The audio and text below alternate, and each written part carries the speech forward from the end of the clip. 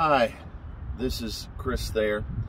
We're out here on Egypt Lake and I'm just going to show you how beautiful our water clarity and quality is by using the Secchi disc, which is the scientific standard.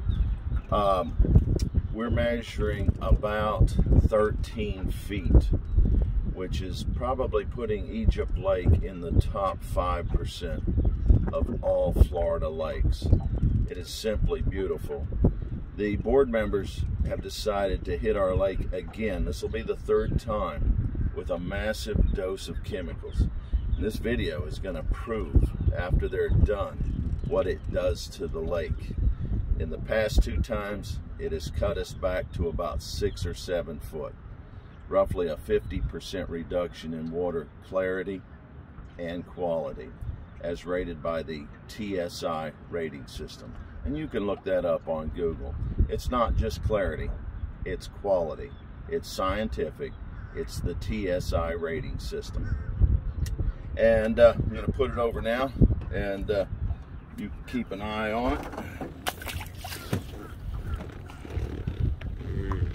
See, there it goes, there it goes, there it goes, there it goes, there it goes, there it goes. Don't drop my phone in the water. There it goes, there it goes, there it goes. Okay, it, wow. it just now disappeared.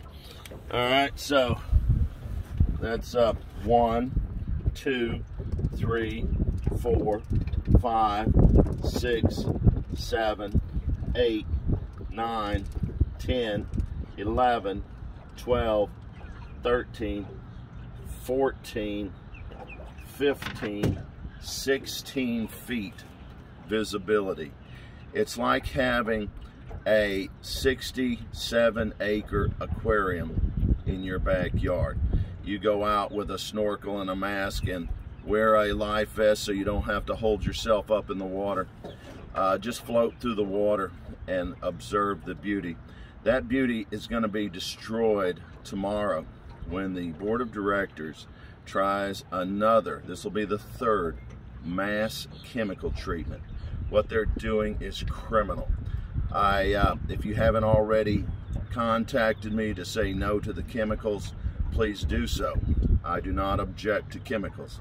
I use chemicals, but I'm objecting to the mass dosage that they're trying to put in our lake. Thank you very much.